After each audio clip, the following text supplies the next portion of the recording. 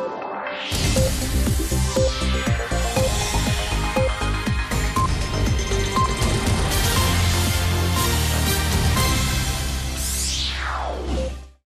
Ողջույն Factor TV հյուրը Հովսեփ Խուրշուդյանն է Եվրոպական միության արևելյան գործընկերության քաղաքացիական հասարակության ֆորումի Հայաստանի ազգային համակարգող բարդես։ Խուրշուդյան Ադրբեջանի բանակը այսօր կեսօրին կրակել է Հայաստանում Եվրոպական միության դիտորդական առաքելության մեքենայի ուղությամբ վերին շորժայի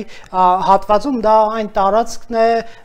որտեղ 3 ադրբեջանցիներ նաև վիրավորել են հայ զինծառայողների եվրոպացիներից որևէ մեկը չի տուժել, ինչու է Ադրբեջան կրակում նաև Եվրամիության դիտորդների վրա ձեր կարծիքը։ Ըստ ում ակնհայտ է դա տեղի ունեցավ հենց հաջորդ օր այն բանից հետո, երբ որ եվրոպական դիտորդական առաքելությունը սուտ հանեց ադրբեջանական լրատվամիջոցներին եւ պաշտոնական աղբյուրներին, որոնք որ պնդում էին, որ հայկական կողմից կա կൂട്ടակումներ, ես ինչ որ ինչ որ բաներ է նախապատրաստում Հայաստանը եւ սադրանք, ես ինչ Եվրոպացիները ասացին մենք ստեղ ենք, ուստի այդպես բան չկա, սուտ եք ասում։ Դե Ադրբեջանը չէր կարողանում դա կուլ տալ, Ալիևը որոշեց այսպես փոքրիկ պատիժ կազմակերպել եվրոպացիների հանդեպ։ Կարծում եք այս պայքարում հայ-ադրբեջանական դիվանագիտական երբեմն նաև ռազմական ասպարեզում այդքան մեծ նշանակություն ուներ Եվրամիության դիտորդների երեկվա հայտարարությունը, որով այո, նրանք հերքեցին Ադրբեջանի ԱԳՆ-ի այն հայտարարություն, թե հայ-ադրբեջանական չդելիմիտացված համաերկայքով արձանագրվել է մեծաքանակ զենքի զինտեխնիկա անձնակազմի կուտակում հայկական կողմից։ Անպայման։ Դա նաև նախերգանքներ այս ամբողջ շարժը Մակիամտանգության խորհրդում Արցախի հարցի Լաչինի Միչանսկի քննարկման, որտեղ ունենալու վաղ երեկոյան եւ Ադրբեջանը փորձում է ճնշում գործադրելով հասնել նրան, որ Հայաստանը դադարեցնի իր ակտիվությունը, հա, այսպես ասենք, նաև շատ այսպես խիստ տոների մեջ պահանջներ չներկայացնի, որտեղ իրականում հիմա Հայաստանի գործիքակազմը առավել քան լայն է եւ ամեն ինչի որ օգտագործում է Հայաստանը, օրինակ ռազմական հանցագործությունների մասին բարձրաձայնում չկա դեռ որը կարող է լինել օրինակ ՄԱԿ-ի անվտանգության խորհրդի նիստի քննարկման ժամանակ։ Իսկ դա արդեն ուղիղ տանելու է դեպի Ալիև, հա, դա տանելու է դեպի վավերացում Ռոմի ստատուտի, որտեղ առանց դրա բնականաբար հետևողական լինել այդ հարցում Հայաստանի իշխանությունները չեն կարողանալու։ Այդ ամեն ինչը նաև Ռուսաստանին է շատ սրտ նեղում, որը որ մի կողմից ուզում է ամեն ինչ հայկական շահերի հաշվին անի Ադրբեջանի համար, վաճառի հայկական շահերը, տարածքները են, ինչ որ միշտ ասել ենք, հա, փառուխ առ փառուխ։ Բայց մյուս կողմից ուզում է որ Հայաստանը լուր նստի եւ հետեւի այդ գործընթացին, եւ որ, որևէ կերպ չդիմադրի։ Հիմա ինքը տեսնում է, որ Հայաստանը շարունակում է դիմադրել անցած տարվա աշնանից սկսած, երբ որ եվրոպական դիտորդներ հրավիրվեցին այդտեղ եւ դրանից հետո էլի որոշ քայլեր արվեցին նաեւ հապկի մասնակցությունը ստեյության բավականի пассивացնելու, հա, եթե ոչ սառեցնելու, բարձր պաշտոնապես ցավոք չենք սառեցրել միջև հիմա, բայց ոչ մի զորավարությունների չենք մասնակցում եւ այլն։ Հակառակը երկու ՆԱՏՕ զորավարություններին ենք մասնակցել, մասնակցելու այս տարի, մասնակցել Այդ ամեն ինչը ռուս-ադրբեջանական ալյանսի շատ նեղ նեղ սրտում է եւ իրենք այսպիսի քայլերով փորձում են նաեւ զգուշացնել եվրոպացիներին, բայց ես կարծում եմ հատկապես այս ամեն ինչը ուղղված էր հենց Հայաստանի վրա ճնշում գործադրելու եվրոպացիների դեմ այդ ուղակի պատասխան եվրոպական հայտարարության, բայց միջև այդ այդ ստերը կൂട്ടակումների բանի մասին, այսինքն իրենց համար այսպես կարող էր թվալ, որ դրանով սպառնում են Հայաստանին, ճնշում են գործադրում Հայաստանի վրա, որ Հայաստանը դադարեցնի այդ ակտիվությունը ՄԱԿ-ի անվտանգության խորհրդին ընդառաջ։ Պարոն Խոշոջան, մեր զրույցի ընթացքում շատ լավ է, որ եկավ այս հաղորդագրությունը, Եվրոպական միությունը առաքելությունը հայտարարություն է տարածել եւ նշում է ոչ մի բարեկ կրակի թիրախ չի եղել։ Սա պաշտոնական հայտարարություն է մենք բարեկեցություն ենք անում հայ-ադրբեջանական սահմանի, ինտեգրացնում Բրյուսելյան ռազմական զարգացումների մասին, այդ թվում էր պատասխանատվության գոտում կրակոցների մասին, ինչ հասկանալսանից ոչ մի բարեկ կրակի տակ չի եղել, բայց թիրախ, թիրախ չէ։ Այո, թիրախ չի եղել, բայց բնեն ավտոմեքենայի ուղությամբ էր նշել։ ՊՆ-ն Հայաստանի ՊՆ-ն նշել էր ավտոմեքենայի ուղությամբ, չէր նշել որ անձին են գրակում, այլ ավտոմեքենա։ Դե ամեն դեպքում անձին ավտոմեքենային նույն բանն է, անձը ավտոմեքենայի մեջ է նստածած, չէ՞ կարող տարանջատել։ Իրենք հերքում որ չի եղել կրակոց, նշում էր բարեկ թիրախ չի եղել։ Ենթադրում եմ նկատի ունեն, որ օդ է եղել կրակոցները, այլ ոչ թե հենց թիրախավորված հենց բարեկների ուղղությամբ։ Ես ուզում եմ հիշեցնել նաև Եվրոպական միությունում Ադրբեջանի դեսպանի մի հայտարարություն հիշում եք երբ որ պարեկները գնացել էին էլի Լաչինի միջանց քիչ անց ես կգտնեմ այդ հայտարարությունը նա ըստեյցյան սպառնալիք էր հնչեցրել Եվրամիության դիտորդների հասցեն մինչ այդ եկեք խոսենք նաև այն մասին թե ինչու էր Ադրբեջանը պես ասենք զրպարտում հայկական կողմին թեփեր զինված ուժեր տեխնիկայի կուտակում հադրբեջանական սահմանին որ իբր դրանով հող է նախապատրաստում հարցակման կարճ ասած հայեր զգուշ եղեք որ շատ խորանակ մակյանոտանության խորհրդի ձեր ռետորաբանության մեջ եւ ձեր ջանքերի մեջ ես կօգտագործեմ իմ իսկ կազմակերպած սուտը թե դուք այնտեղ կուտակումներ ունեք եւ կհարցակվեմ հա բայց ես իհարկե չեմ հավատում հիմա նման որևէ հնարավորության առաջիկա շրջանում գոնե հա առաջիկա ժամանակաշրջանում որովհետեւ հիմա ադրբեջան առանց այն էլ բավականին մեծ ճնշման տակ է եւ միջազգային հանրության ուշադրության կենտրոնում է եւ հիմա էսկալացիայի իր նախաձեռնությամբ իր կողմից ուղակի մեծ հարված կլինի իր իսկ շահերին եւ այն էլ ՄԱԿ-ի անվտանգության խորհրդի նիստից առաջ դա նշանակում է ուղղակի ապացուցի այն մեղադրանքները, որ Հայաստանը իր հանդեպ ներկայացնում է ոչ միայն Լաչինի մասով փակ լինելու, այլ ընդհանրապես հայությանը ցեղասպանության ենթարկելու, Հայաստանի դեմ ուղղված իր քայլերի եւ այդ բոլոր այսինքն կարող են նաեւ ավելանալ այդ մեղադրանքները։ Մի բան է նիստ հravirելու համար հիմնավորումները, մի բան է նիստի ընթացքում հնչած նաեւ պաշտոնական մեղադրանքները։ Շատ լավ, մենք անպայման նիստից կխոսենք հավանական սցենարներից։ Ես գտա այդ հայտարարությունը, ընդ որում Եվրամիությունն էր դատապարտել Ադրբեջանի դեսպանին Եվրոպական միությունում Եվրո խորհրդանի անդամների այցի վերաբերյալ նրա սպառնալիքը Սադիկովը նշել էր, թե տեղադրել էր ադրբեջանական արտադրության դիպուկարացանի պատկեր եւ նկարագրության հատվածում գրել նրանք գիտեն թե ինչ են անում իրենց պաշտպանելու համար ադրբեջանում արտադրված Իստիգլալ դիպուկար հրացանը ունի 3000 մետր կրակի արդյունավետ հեռավորություն տղերք հեռու մնացեք ադրբեջանի պետական սահմանից ասել էր եվրոպացիներին Այսինքն այն, որ Ադրբեջանը Եվրամիության դիտորդի նկատմամբ ունի ընդգծված բացական վերաբերմունք, ակնհայտ է նաև սրանից։ Հետաքրքիր է ինչու։ Դե տեսեք, իր պլանները Ռուսաստանի հետ միասին գծած խառնեցին հենց եվրոպական դիտորդները պետք չի թերագնահատել թե այն կարևորությունը, որ ունեն եվրոպական դիտորդները մեր սահմանին, թե նաև այն, այսպես ասեմ, քաջությունը, հա, որը որ իրենք դրսևորում են գալով այստեղ կրակի գոտում ըստեյության, հա, ռազմական հակամարտության գոտում կատարում են իրենց մոնիտորինգային առաքելությունը։ Հա, դա պատկերացրեք անդարտ Եվրոպայից այսպես եկել են մասնակցում են այստեղ մի առաքելությանը, որը նույնիսկ Ուկրաինայում չեն իրականացնում այդպեսի դիտորդական parz է այնտեղ թեժ պատերազմ է այնտեղ գից չկա այդպես հա հենց ֆրոնտ այնտեղ ճակատ է ռազմաճակատ է բայց ամեն դեպքում այստեղ էլ այսպեսի լարված իրավիճակում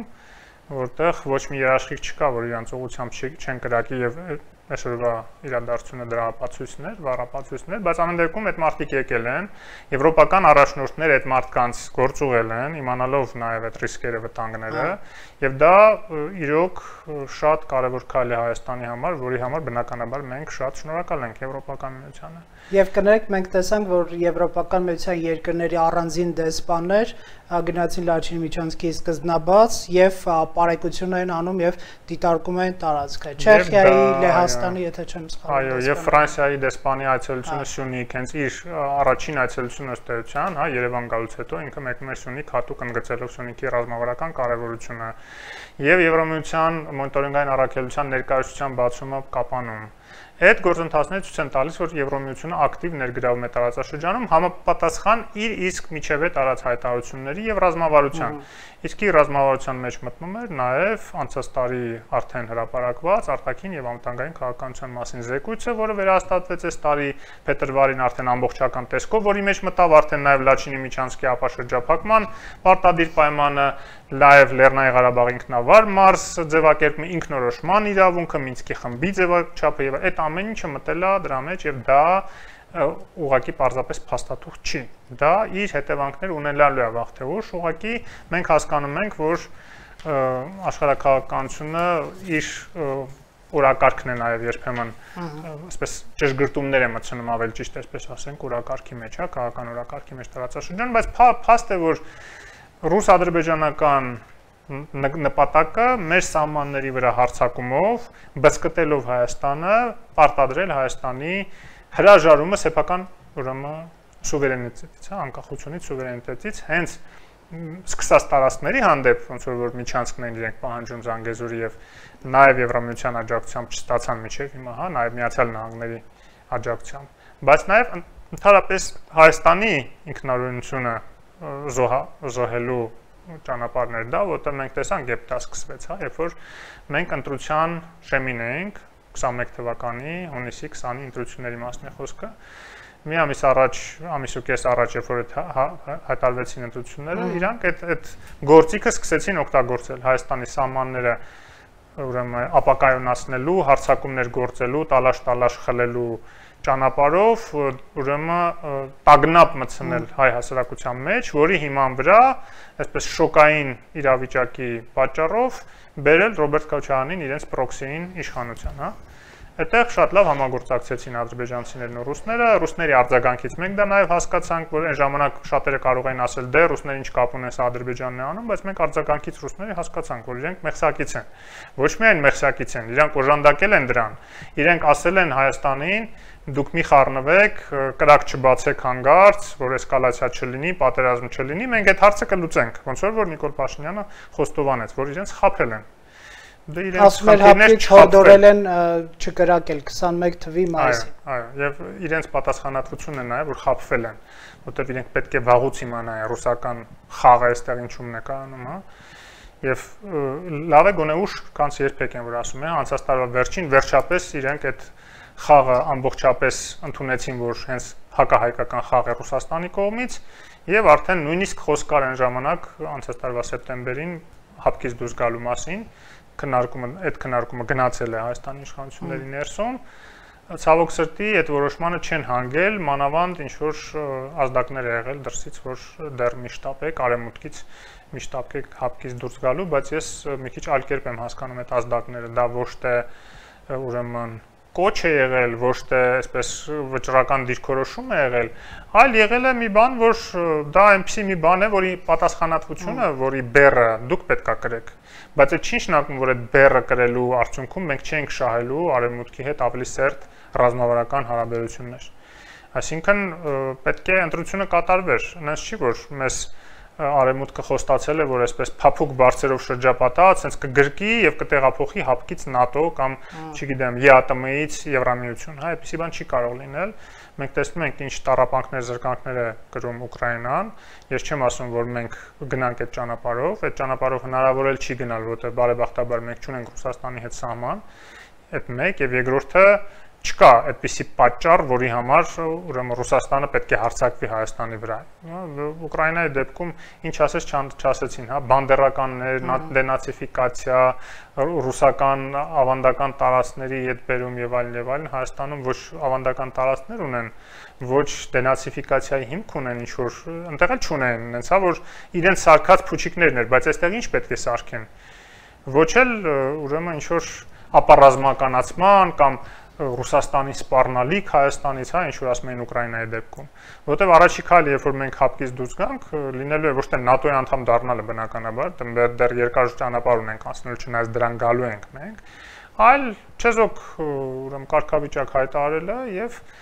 երկկողմանի կապերի միջոցով ռազմավարական եւ ռազմական համագործակցության պայմանագրեր կնքելը հատկապես եվրոպական եւ արևմտյան երկրների հետ ինչու ադրբեջանը արել է վաղուց արել է ի տարբերություն մեզ Այդտեղ Ֆինլանդիայի փորձը հավանաբար ուսանելի կարող է լինել, որ նրանք չեզոք, այսպես ասենք, դիրքավորում բռնելով ամեն դեպքում կարողացան իրենց զինված ուժերը մոտեցնել ՆԱՏՕ-ի ստանդարտներին եւ նրանց անդամակցություն ՆԱՏՕ-ին տևեց մի քանի օր, հա, կոնկրետ Ֆինլանդիայի, Շվեդիային դեռ կտեսնենք։ Հիմա Ռուսաստանի մասով մենք հիշում ենք 2020 2 թվականի դեկտեմբերին ՄԱԿ-ի անվտանգության խորհրդի նիստում էլի Լաչինի հարցով Ռուսաստանը վետո կիրառեց միասնական հայտարարություն ընդունելու այդ process-ի վրա պնդելով, որ իր դերակատարությունը անընդհատ շեշտվի եւ այլն։ Այնտեղ կան էլի պետություններ, որոնք փորձել են ինչ-որ խմբագրումներ անել, բայց նրանց հաջողվել էր համաձայնեցնել։ Կարծում եք ՄԱԿ-ի անվտանգության առաջիկա նիստում հիմնական խոչընդոտը կապված է լինելու էլի Ռուսաստանի հետ, թե կան էլի դերակատարներ, ոնց արկելքը պետք է անցնել վստահ եմ, որ այս անգամ ավելի շատ նույնիսկ կանց նախորդ անգամ միասնականություն է լինելու Լաչինի միջանցքը բացելու հարցում, որովհետև կա լրջագույն փորձագիտական եզրակացություններ հայ ժողովրդին Արցախի հայ բնակության ցեղասպանության ենթարկելու վտանգի մասին։ Ոչ միայն վտանգի, հա, Օկամպոն դատախազը, առաջի դատախազը արտադատության միջազգային դատարանի քրեական դատարան։ Քրեական դատարան, ներողություն։ Քրեական դատարանի փաստորեն ասում է, որ հիմա ընթանում է ցեղասպանություն։ Հա, որտեղ ցեղասպանություն միայն այն չի, որ մարդկանց սպանում են հենց այդ պահին։ Ցեղասպանությունը այդ պայմանների ստեղծումն է արդեն, որ մարդիկ սովամահ լինեն կամ դեպորտացիա ենթարկվեն կամ էթնիկ զտման ենթարկվեն։ Էնպես որ երկրներին շատ ավելի բարդ կլինի դա անտեսել կամ այդպիսի կարծիք ունենալով շարունակել ինչ որ ուրեմն խաղեր տալ, հա, այսպես ասած։ Դրանց գումարենք նաև ՄԱԿ-ի արտադատության դատանի որոշումը Լաչի Միչանսկի բացման հարցով փետրվար ամսին ընդունվեց եւ ՄԱԿ-ի փորձագետների վերջին հայտարարություն, բայց դրանք իրավական, այսպես ասենք, որոշումներ են։ Ամեն դեպքում սա քաղաքական մարմին է, բան խոսքը։ Այո, բայց ՄԱԿ-ի քաղաքական մարմինները չեն կարող անտեսել ՄԱԿ-ի իրավական մարմինների որոշումները կարող են անտեսել միայն սեփական ռեպուտացիոն մեծ կորուստների գնով, ինչին Ռուսաստանը միշտ պատրաստ է եղել, հա, ժամանակին, երբ որ ՄԱԿ-ի արտադատության դատարանը որոշում կայացրեց Կոսովոյի անկախության անխուսափելիության վերաբերյալ, այսինքն անջատում հանուն փրկության սկզբունքի կիրառման, Ռուսաստանը վետո դրեց այդ որոշման վրա առանց առանձնապես այն մտահոգում, չէր մտահոգում, թե ինչ ռեպուտացիոն խնդիրներ կունենա։ Որտեղ ՄԱԿ-ի դատանը այդ որոշումը կայացրել է հիմնվելով նույն այն փաստերի վրա, որ հիմա կա Արցախի մասով, որ սերբերը, սերբիա իշխանությունները կոսովարների հանդեպ ցեղասպանություն են փորձել գործել եւ ամենայն դեպս բազմաթիվ ռազմական հանցագործություններ իրականացել, հետապնդումներ, որը ցույց է տվել, որ իրենք հնարավոր չի ուղղակի, որ Կոսովոն մնա Սերբիայի գերիշխանության տակ։ Նույնը այստեղի նույն քեյսն է, նույն տարբերակն է, հələ իրավական տեսակետից շատ ավելի ամուր են Արցախի անկախացման իրավական հիմքերը, մենք դրա մասին բազմիցս ենք խոսել, բայց հարցը նույնիսկ դա չի։ Հարցը այն է, որ ցավոք սրտի ի տարբերություն Կոսովոյի, որը ուներ հովանավոր, իդեմս Մեծ Բրիտանիայի, Արցախը ունի հովանավոր իդեմս Ֆրանսիայի ինչ որ իմաստով էսպես որ ասենք, որտեղ Ֆրանսիան ամեն դեպքում ինչ որ հարցերում ընթառաջում է, բայց ոչ այդ այդ այդ աշճան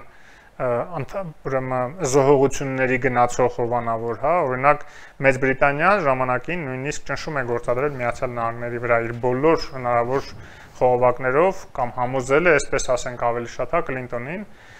Տոնի Բլերի մասին է խոսքը, Կլինտոնին համոզում ճիշտ ասած չէ, Տոնի Բլեր, հա։ Այո, նրանց վարչապետն է։ Նրանց վարչապետը, հա։ Մեծ Բրիտանիա։ Վախեցա խառնեմ։ Եվ համոզեցին Կլինտոնին, որովհետև սկզբից Կլինտոնը տրամադրված չէր ուրեմն նույնիսկ սերբ համայնքի հետ հանդիպում էր ունեցել Միացյալ Նահանգներում եւ ասել էր որ մենք չենք պատրաստվում ճանաչել Կոսովոյի անկախությունը եւ Սերբիայի տարածքային ամբողջականությունը մեր համար կարմիր գիծ, այսպիսի բաներ ասել։ Բայց ամեն դեպքում նաեւ սերբերի հանցագործությունները ռազմական բերեցին նրան, որ Տոնի Բլերը կարողացավ համոզի Միացյալ Նահանգներին, իսկ դա արդեն բավարար էր, որ եթե ոչ ՄԱԿ-ի անվտանգության խորհրդով, բայց ամենայն դեպս 100 երկիր աշխարհի այդ ընթացքում ճիշտ է 9 տարի տևեց այդ գործընթացն էլ հեշտ գործընթաց չէր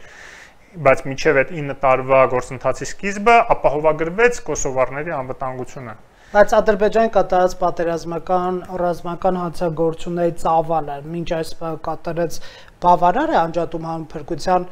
մոդելով առաջ գնալու համար թե այսպես ասենք վատթարագույն սցենարը եթե տեղի ունենա, այդ պարագայում է հնարավոր։ Տեսականորեն իրավական տեսակետից ես վստահ եմ, որ լրիվ բավարար է։ Ադրբեջանը նույնիսկ ավելի վատ բաներ է անում, քան սերբերը կոսովարների հանդեպ։ Ճիշտ է, սերբերը չէին կարող շրջափակել կոսովարներին եւ այսպեսի ուրեմն թակարդի մեջ պահել, հա, որպես պատանդ, հա, pašարեին, որտեղ ամեն դեպքում Կոսովոն Ալբանիայի հետ երկար սահման ուներ։ Եվ կոսովարներին հաջողվեց ուղակի փախուստի դիմել, դեպորտացիա ենթարկեցին ըստ էության սերբերը կոսովարներին, կոսովո ալբանացիներին։ Տվյալ դեպքում փաստորեն Ադրբեջանը մի նոր հոլոդոմոր է կազմակերպում։ Գիտեք, ժամանակին 30-ականների վերջերին Ուկրաինայում Ստալինը 6 միլիոն տարբեր գնահատականներով միջև 8 միլիոն ուկրաինացիներ սպանեց այդ հոլոդոմորի միջոցով, այսինքն ինչ էր անում։ Ցորենը բոլորից հավաքում էին, մարդիկ սովից մահանում էին, ուտելու բան չունեին, մի ամբողջ քաղաքներով, գյուղերով։ Հիմա նույնը այստեղ ուրիշ ձևով են անում, այսինքն փակել է արդեն, դեկտեմբերից սկսած փակել է, pašարել է։ Ճիշտ է, այն դեկտեմբերից սկսած որոշ սննդամթերքի մուտք հնարավոր էր լինում, ասենք, թրաֆիկինգի միջոցով, այդ կաշառքով ռուս խաղապանեն եւ այլն, նաեւ մարդկային, հիշում ենք, միջև 1000 դոլար էր հասնում մի հոգու տեղափոխելու, ուրեմն վարձը կաշառքը։ Բայց այս ընթացքում հյուծվել է Արցախի տնտեսությունը։ Պաշարներն են ուրեմն նվազել բենզինի, վառելիքի ընդհանրապես, հա, տարբեր պաշարներ, սննդամթերքի, նաև ռազմավարական պաշարները, այդ ամեն ինչը նվազել է եւ աշխատատեղերն են վերացել, որտեղ եթե չկա առևտուր, չկա նեսուդուրս ապրանքների շարժ ներկրում արտահանում, տնտեսությունն է կանգն առնում, բացի գյուղատնտեսության, ասենք հիմնական ոլորտներից, հատվածներից, բայց մնացած տնտեսական ճյուղերը, փաստորեն շինարարությունը, արդյունաբերությունը, հանքարդյունաբերությունը, այդ բոլորը կանգնել է Արցախում, մենք գիտենք։ Եվ հիմա վերջին այսպես ստադիան արդեն, որ նաև սննդից կտրեն, հա, որ հնարավորություն ունենար ջրից է կկտրել բնականաբար, որը որ արդեն նաև վերջի կաթիլն է դառնում միջազգային հանրության համար, որ արձագանքի։ Մենք մենք տեսնում ենք մամուլում արդեն սկսել է արշավը, կարևոր հրաապարակումներ եղավ, բայց կարևոր է չդադարել ճնշումը միջազգային հանրային կարծիքի վրա, որպեսզի սովորական չդառնա սա հա, որտեղ հիշում եք, նույնը եղավ դեկտեմբերի վերջերին, երբ որ մի պահ այսպես ալիք գնաց բոլորս էլ վրթովված ենք, բոլորս էլ աշխատում ենք միջազգային հանրության հետ, այնտեղից գալիս էր արձագանքներ, ինչ որ ճնշում եւ այլն, ու արդեն տպավորություն էր, որ նույնիսկ Ալիևը կզիջի բայց ռուսների հորդորով եւ աջակցությամբ ինքը որոշեց չզիջել, մաքսիմում էլ եմ ասում այդ շրջանցիկ ճանապարհները թողեցին, որ նաեւ հետո նկարեն ուրեմն դրոններից եւ աշխարհին ցույց տան ասեն, որ հայրը սուտ են ասում, հեսա իրենց ֆուրերը գնում են գալիս են հանգիստ, հա էլ այդտեղ ոչ մեկ չի չեր խորանում արդեն թե 400 տոննա բեռ է մտնում օրական, թե ասենք 4 տոննա, հա, մի ֆուր։ Իսկ դա հասկանալի է, չէ՞, ինչ հսկայական տարբերություն է։ Եվ հիմա արդեն այս պարագայում մենք պետք է ավելի ակտիվ լինենք, հատկապես վերաբերում է խոսքը եւ Հայաստան դիվանագիտությանը եւ լավ որ վերջի օրերին բավականին ակտիվ են, բայց ես չգիտեմ այդ ակտիվության ծավալները նաև դեսպանատների մակարդակով, հա, արգոսնախարարն է տեսնում ենք զանգում է, զանգում է տարբեր տեղեր նախապատրաստելով անվտանգության խորհրդի նիստին։ Եվ Սփյուռքն ու Հայաստանի քաղաքացիությունն նաև падգամավորներ, ժողովրդական դիվանագիտությունը եւ պարլամենտական դիվանագիտությունը պետք է ամեն ջանք հիմա գործադրեն մաքսիմալ այս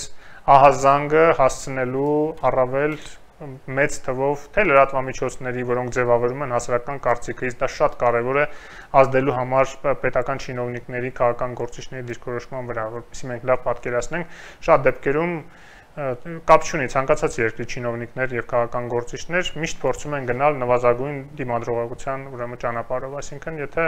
դու չես ահազանգում, չես դիմադրում, չես ճնշում գործադրում, տեսնում են որ դե ոչինչ համակերպեցին հայերը սրա հետ էլ եւ այլն, այլ կարող է եւ առանձնապես իրենք էլ չուզենան խառնվեն գլուխ դնեն են որ ասում է, հա, որովհետեւ դա ռեսուրսների հետ է կապված, նաեւ Ադրբեջանի հետ հարաբերությունները փչացնելու հետ է կապված, բայց եթե դու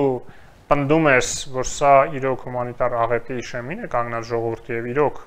կարող է չնել պատկերացնում, որ այնտեղ սովի եզրին է մի 120 հազարանոց բնակություն եւ իրոք դա ցեղասպանություն է եւ մանավանդ երբ որ արդեն միջազգային փորձագետներ հեղինակավոր դրա մասին խոսում են, արդեն այդ ալիքը պետք է օգտագործել եւ անդադ պահել միջև որ խնդրի հանգուցալուծում, իսկ հանգուցալուծումը չպետք է լինի բնավ զուտ Լաչինի միջանցքի բացելը, որտեղ այսօր կբացեն, վաղ նորից կփակեն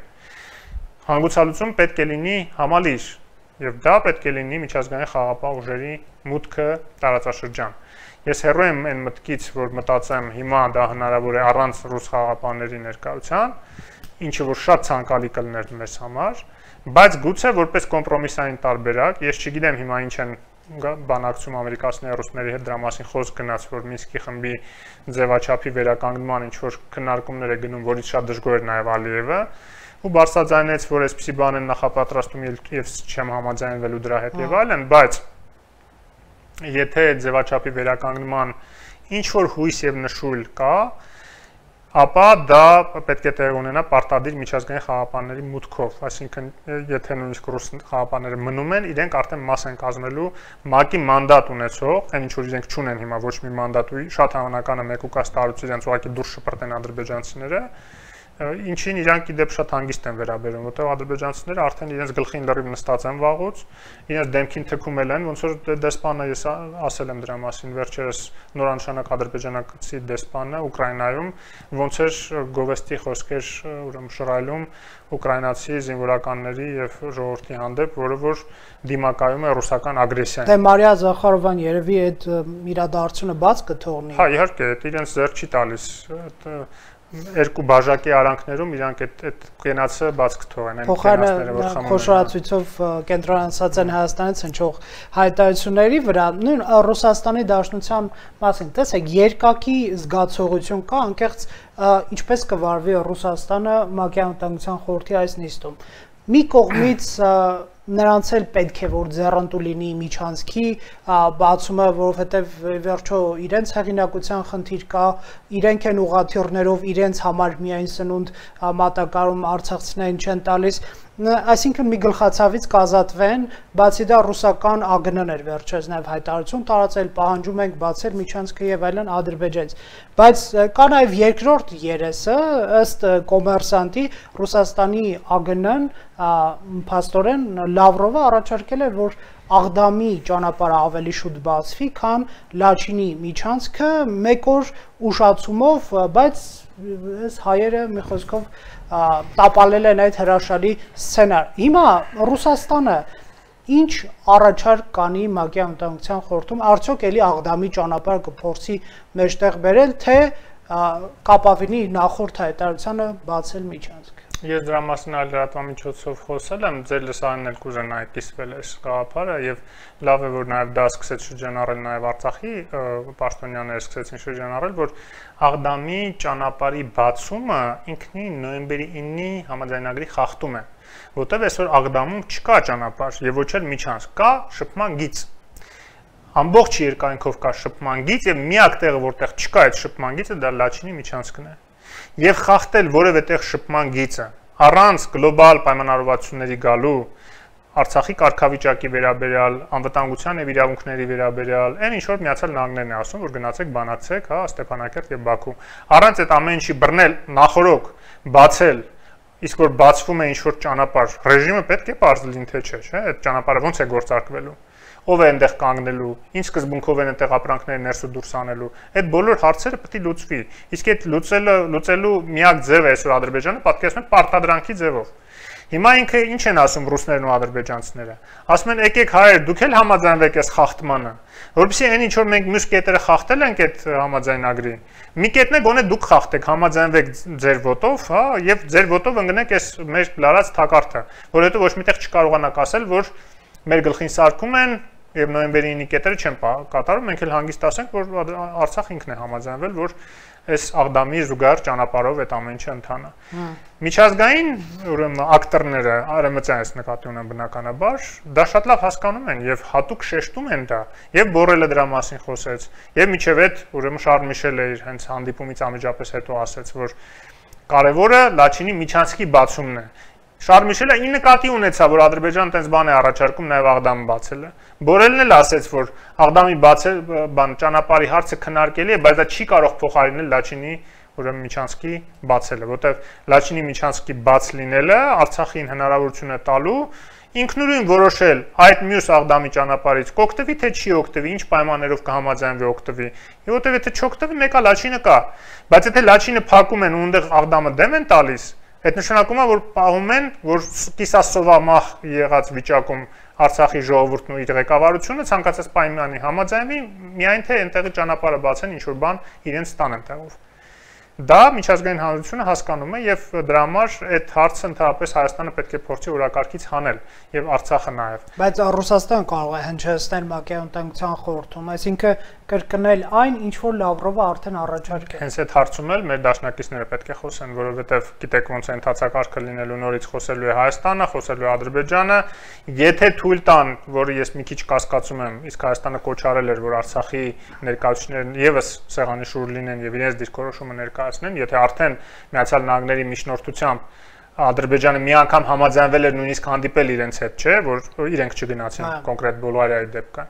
Ապա ի՞նչն է խանգարում, որ նաև այնտեղ ներկա լինեն եւ խոսեն, հա? Հո իզգոյ չեն կոպիտ ասած, եթե արդեն ճանաչվել են որպես սուբյեկտ բանակցությունների գերտերությունների կողմից Դե եկեք ճիշտ ասենք օտարերկրյա դիվանագետները, որ հայ-ադրբեջանական process-ում ներգրաված են, հարաբերություն շփում ունենում են Արցախյան պաշտոնյաների հետ դիվանագիտական են ոչ ֆորմալ ոչ ֆորմալ այո ոչ ֆորմալ դա խնդրեմ է հենց պետք է ֆորմալ շփումներ լինեն որովհետեւ սուբյեկտանությունը պաշտոնապես բոլոր կողմերից ճանաչվի Արցախի որպես բանակցային կողմ Համենայն դեպս հերթականությունը այդպեսին է. Հայերը կխոսեն ադրբեջանցիները կխոսեն ու հետո կխոսեն ներկայացուցիչները երկրների, հա։ Եվ այնտեղ պետք է որ մեր դաշնակիցները նաև հնչեցնեն եւ կշտամբեն Ռուսաստանին, ասելով որ դու ուր ես բերում խախտում առաջարկում քո իսկ ստորագրած ուրեմն հայտարարության, որը այսօր միակ իրավական հիմքն է, իրավական ռեժիմը, միայն այդ հայտարարությունն է ապահովում, այնտեղ կայունության շփման գծից սկսած մինչև Լաչինի միջանցքի գործարկման ռեժիմը։ Դա է միակ փաստաթուղթը։ Ինչ եք առաջարկում։ Եթե դրանից հրաժարվում եք, ուրեմն եկեք կոնֆերանս հրավիրենք ԵԱԿ-ի եւ կամ ՄԱԿ-ի անվտանգության խորհրդով անցկացնենք նոր պարտադիր արդեն բոլորի համար ոչ թե ինչ որ համաձայնեցված Ադրբեջանի, Հայաստանի, Ռուսաստանի միջև, այլ բոլորի համար պարտադիր ռեժիմ, ոնց որ ՄԱԿ-ի բանաձևերն են պարտադիր ուժ ունեցող ի կատարման։ Շատ լավ, եւ ամփոփելով արդեն պարոն Խորշոդյան, վերջին շրջանում Դենիս Գոնչարը 4-րդ դեպարտամենտի տնորեն Ռուսաստանի ԱԳՆ ԱՊ երկրների հայտարարություն տարածեց, որ դե բարդ է ընդհանրապես հայ-ադրբեջանական համաձայնությունները այնպես չի որ կողմերը բոլոր լուծումներին համաձայնվում են, բայց ասում է պետք է բարդ թեմաների շուրջ լուծումներ գտնվեն ամենակարևորը Ադրբեջանի իրավական դաշտի շրջանակներում Լեռնային Ղարաբաղի հայ բնակության անվտանգությունը ապահովելու եւ համընդհանուր իրավունքների պահպանման խնդիրն է։ Եթե սրան գումարենք նաեւ այն հանգամանքը, որ Ռուսաստանը փաստորեն նաեւ կողմնակից է, որ Եվլախում հանդիպեն Արցախի մեր ներկայացուցիչները եւ ադրբեջանցիները արդյոք սա չի նշանակում որ ռուսական դիրքորոշումը Արցախի հարցով նույնական է գրեթե Ադրբեջանին եւ դուք տեսում եք հնարավորություն, որ հնարավոր լինի այդ հանդիպումը կազմակերպել երրորդ երկրում միջազգային մեխանիզմով, թե ամեն դեպքում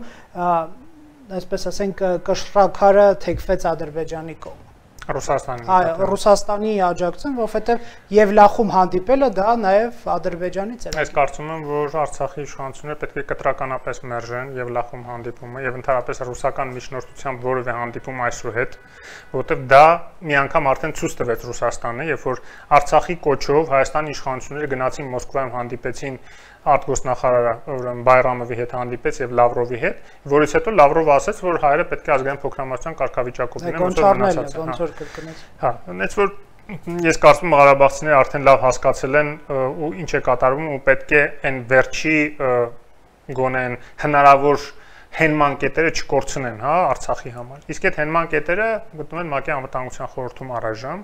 Ես չեմ ասում, որ վստահ եմ, որ լավագույն ինչ-որ որոշում կկայացնի ՄԱԿ-ի անվտանգության խորհուրդը կամ բանաձև։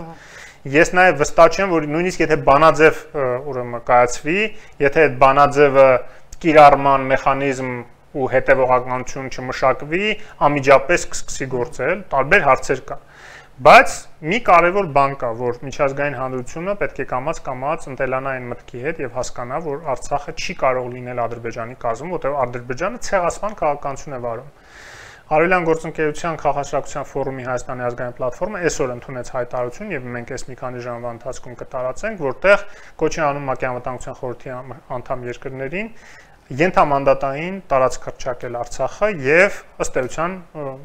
դա չի նշանակում որ Ադրբեջանի տարածքային ամբողջականությունը խախտվում է, չէ, բայց այդ տարածքային ամբողջականության շրջանակներում այդ տարածքի վրա ուղիղ կառավարում է ուրեմն նշանակում ՄԱԿ-ի կողմից, հա, եւ ենթամանդատային տարածքի հրճակվում, այդ թվում Լաչինի միջանցքը բնականաբար, որի հիմքը նաեւ որը կլինի հիմք ՄԱԿ-ի նաեւ խաղարարների այնտեղ տեղակայման, որի ընթացքում արդեն բանակցություններ կլինեն, քանի տարի այդ բանակցությունները կտևեն, Ստեփանակերտ Բաքուն արդեն հանգիստ պայմաններում, առանց շանտաժի, առանց ուրեմն Ստեփանակերտի իշխանությունների ձեռքերը ոլորելու եւ այլն, գնան պայմանավորվեն, թե ոնց է լինելու այդ համակեցությունը կամ լինելու է թե չի լինելու։ Կոսովոյի դեպքում 9 տարի բանակցելուց հետո ամեն դեպքում որոշվեց, որ չի լինելու, որովհետև հիմքերը բավարար էին ցույց տալու համար, որ չի կարող ուղղակի Սերբիան կառավարել իշխել այդ բնակության հանդեպ։ Ճիշտ է, տարբերություններ էլ կային, հա, այնտեղ նախ 1.5 միլիոն բնակություններ, այնտեղ ցեղասպանությունը տեսանելի էր, այդ 1.5-ին էլ 1.5 միլիոնն էլ դեպորտացիա ենթարկեցին սերբերը, հա, հազարավոր սպանվածներ եւ այլն, չեմ ասում նաեւ գերիների դեպ գնդակահարություն, 60 գերիների գնդակահարություն եղավ վերջին կաթիլը նաեւ ՆԱՏՕ-ի ռմբակոծությունները սկսելուց առաջ։ Բայց համենայն դեպս եւ մենք ճունենք այստեղ ՆԱՏՕ, հա, միակ ՆԱՏՕ երկիր այստեղ Թուրքիան է, որին բնականաբար ՆԱՏՕ-ի ոչ մի երկիր չի պատվիրակի այդպես ինչ որ գործողություն ստեղ իրականացնել, նա չի ելանի, եթե հակառակը չանի, հա։ Այնպես որ մենք շատ ավելի լավ պայմաններում կլինենք, եթե ՆԱՏՕ-ն շատ ավելի մոտ լիներ մեզ, ես նկատի ունեմ իրական ՆԱՏՕ-ն, ոչ թե Թուրքիան, հա, օրինակ Վրաստանում, եթե Միացյալ Նահանգները բազա ունենային, ինչի կոչերը մենք դեռ 20 թվականին արել ենք մեր տարբեր հանդիպումներում այդ Միացյալ Նահանգներից, բայց բնականաբար դա կոչերի հարց չի, իրենք էլ կուզենային, բայց Վրաստանի իշխանությունները հիմա այն կարգավիճակում են եւ դիրքավորման մեջ են, որ ավելի շատ Ռուսաստանի հետ են փորձում այսպես լեզու գտնել եւ սիրաշահել Պուտինին, մանավանդ Իվանիշվիլի ռեժիմը առանձնապես հակված չի ժողովրդավարական ուրեմն կարգերի հաստատմանը, որ իրեն իշխանությանն է սպառնալու, բայց ամենայն դեպս այսպես Վրաստանը արկախված վիճակում է, իսկ առանց Վրաստանի մենք լրիվ փակ վիճակում ենք, հա, արևմուտքի ՆԱՏՕ-ի հետ այդ հարաբերությունները զարգացնելու, քանի դեռ Թուրքիայի հետ հարաբերությունների կարգավորումը տեղի չի ունեցել։ Դա էլ մի կարևոր ուղղություն է, որին ի դեպ մենք տեսնում ենք Միացյալ Նահանգները էլի շատ մեծ կարևորություն են հատկացնում եւ վերջի ուրեմն հանդիպումը կամ հերախոսազրույցը Ֆիդանի հետ, հա, Բլինկենի, նաեւ դրա մասին էր, որ աշխուժացվի Հայաստան-Թուրքիա հարաբերությունների կարգավորման գործընթացը։ Շնորհակալ եմ պարոն Խոշոդյան զրույցի համար։ Factor TV-ում հյուրընկալել են Եվրոպական միության արևելյան գործընկերության քաղաքացիական հասարակության ֆորումի Հայաստանի ազգային համակարգող Հովսեփ Խոշոդյանի։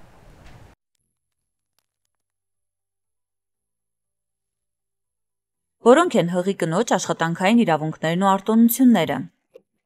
Աշխատող կինը գործատուին ներկայացնում է տեղեկանք հղիության մասին։ Գործատուն իր նախաձեռնությամբ չի կարող կնոջն ազատել աշխատանքից մինչև հղիության եւ ծննդաբերության արձակուրդի ավարտը գումարած 1 ամիս։ Հղի կնոջ եւ մինչև 1 տարեկան երեխա խնամող աշխատողի պահանջով կարող է սահմանվել ոչ լրիվ աշխատանքային օր կամ շաբաթ։ Անհրաժեշտության դեպքում հղի կինը կարող է բժշկական հետազոտություն անցնել աշխատանքի ժամին։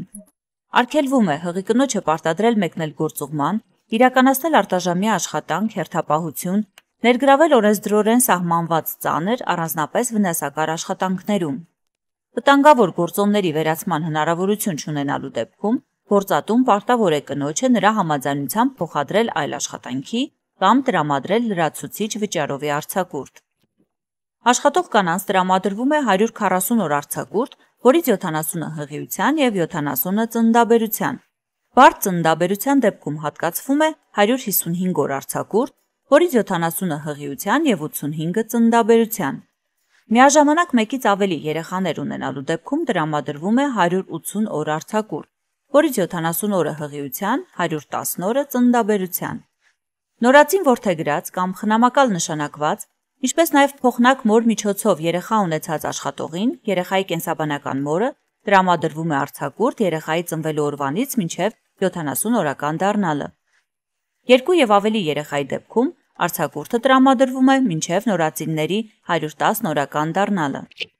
Երեխայի ծննդից հետո 30 օրվա ընթացքում երեխայի հայրը եւս կարող է հնգորյա վճարովի արձակուրդ վերցնել։